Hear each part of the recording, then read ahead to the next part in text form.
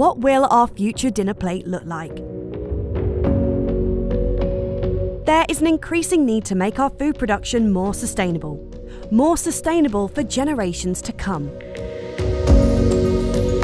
The Aquavitae project responds to these challenges, working with new ideas by supporting a more sustainable farming of seafood, commonly known as aquaculture. And the Atlantic Ocean offers opportunities. Aquavitae means increasing the production of sustainable food primarily, focusing on specific value chains to create new species, new processes, new products right across the Atlantic. So Europe, Brazil primarily, South Africa, but other countries around the Atlantic as well. From north to south, east to west, 35 partners from four continents work together to unlock further opportunities for sustainable aquaculture. But what does it mean to be sustainable? To be sustainable means finding ways to fulfilling our needs without compromising the ability of future generations to meet our own needs. So we work with uh, sustainability analysis and we work with all dimensions of sustainability. So we work with environmental sustainability, but also the economic sustainability and the social sustainability. And this is something that we really need to do because of the expanding population and the challenges that the world are facing. Algae are found at the bottom of the food web. Animals that feed on them are found higher in the web, and animals that feed on other animals are even higher algae and animals such as filter feeding mussels that are at the bottom of the food web are considered low trophic and these are extractive species. They depend on the natural available food in the water. And this is really beneficial because these species they will extract nutrients from uh, the sea. We need to reduce the use of resources for food production, and farming low trophic species can do this we look at the world, how it's changing with the climate crisis. We need to transform society in a way that we become more sustainable. These lower trophic species are much more sustainable to produce and consume. Our future dinner plate may include food that we are not familiar with today, but that have a great nutritional value. And this is what Aquavitae is all about. We look at macroalgae production, we look at production of uh, sea urchins, sea cucumbers, mussels, oysters, everything that is really close still to, to um, the primary production that is um, plant-based.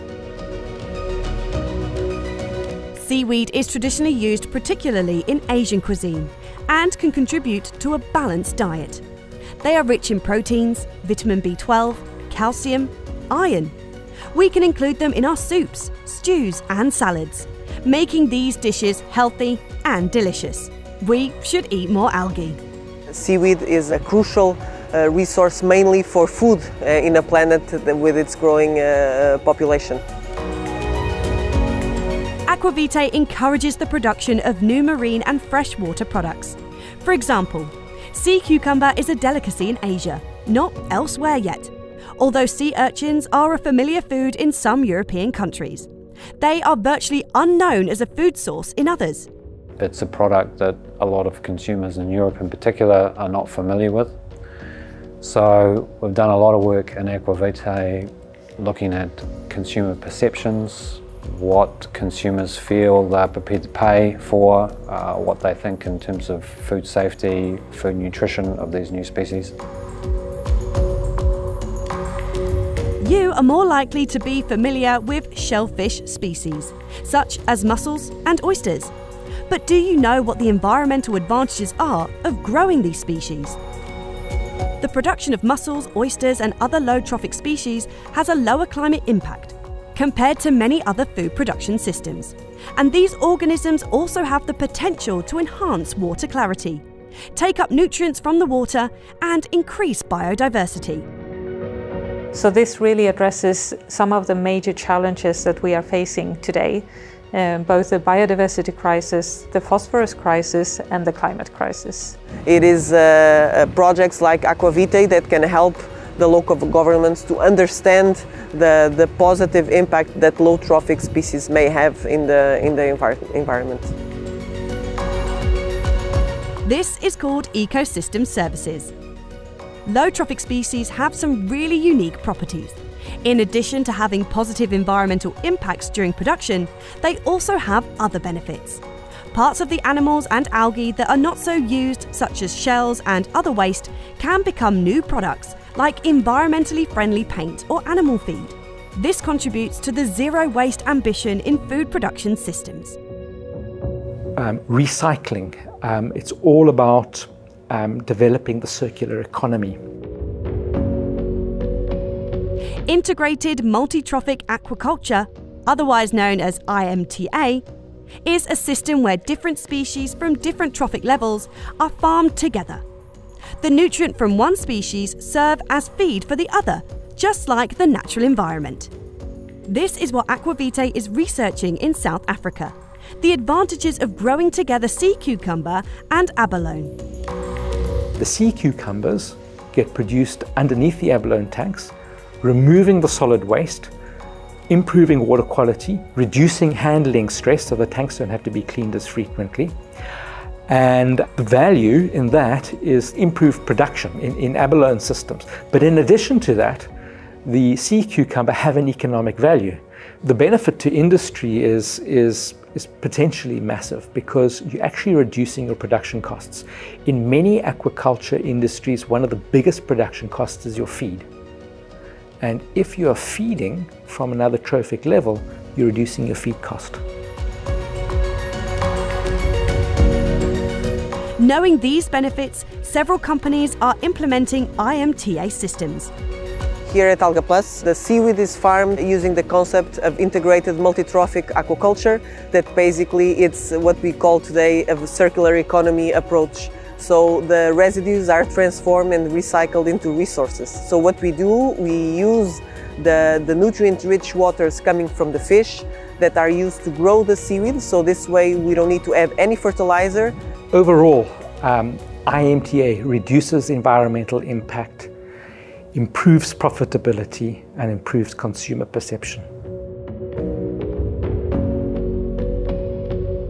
When you farm mussels or shrimps, you are also interested in checking on their welfare. Aquavitae develops protocols and technology like online sensors and underwater cameras that help farmers to improve their production. They can follow, for instance, how well animals are growing.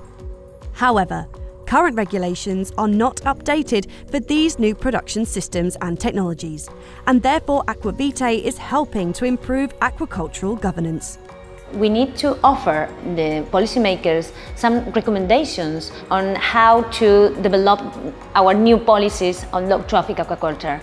There are, we found a lot of demands from the industry in terms of um, uh, the licensing, for instance. It takes too long to get a license because of the uh, complexity of uh, and the bureaucracy and different administrations.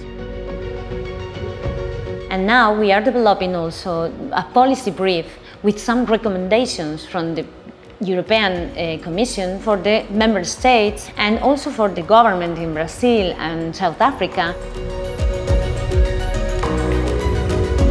This is crucial for industry development in the Atlantic. Aquavitae is not doing this alone. The project is working together with governments, regulators, industry and consumers. All these benefits, all these advantages, all this new technology need a voice and a place where everybody interested in the topic can find this information. That is why Aquavitae developed a MOOC, a massive open online course on low trophic aquaculture. Low trophic aquaculture is something new and there are not many resources available. We need to have access, uh, open access to different uh, knowledge. So Aquavita wants to guarantee this open access for everyone in an online repository to learn more about low trophic aquaculture. This free online course is taught by academics, researchers and industry. Course participants will discover topics ranging from the biology and farming of different low trophic species to governance, sustainability, business economics, and consumer behaviour. Aquavitae does not only need to train students, we also need to educate those that will use these products in the future, such as chefs and consumers. Aquavitae hosted MasterChef classes and product tasting events, bringing together chefs and catering schools and consumers. This encouraged them to get creative in using these products. Aquavitae is about learning, sharing, collaborating across the Atlantic, applying the motto of the blue economy, a perspective that the project follows since its beginning in 2019.